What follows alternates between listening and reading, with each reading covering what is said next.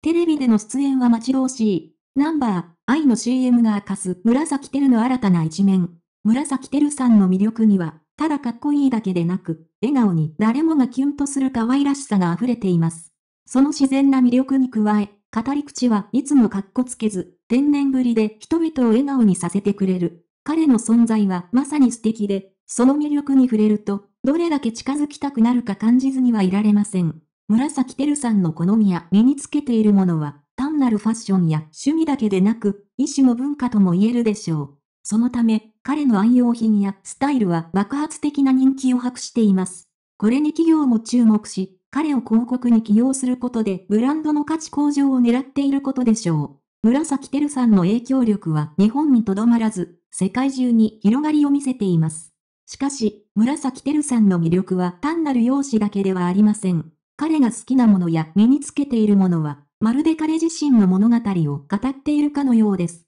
そのため、これらの要素は爆発的な人気を誇り、企業たちも積極的に彼を起用したいと考えるのは頷けます。そしてその影響は日本にとどまらず、世界中に広がりを見せています。テレビで紫てるさんを見ることは、ファンにとって喜びの瞬間です。その笑顔や天然な一面が彼をより身近な存在に感じさせてくれます。例えば、ナンバー、愛の CM も楽しみの一つであり、彼の新たな一面を発見する楽しさがありますね。ナンバー、愛での CM も期待大です。紫てるさんの表現力豊かな演技と、その独自の視点が融合したら、私たちはますます新しい発見と驚きに満ちた体験が待っていることでしょう。彼の登場がなる広告だけでなく、コミュニティに新しいエッセンスを吹き込むことは間違いありません。紫てるさんの存在が及ぼす社会的影響は計り知れません。彼が若者に与えるポジティブな影響や、彼が注目を浴びることで浮き彫りになるファッショントレンドなど、彼の活動は多岐にわたります。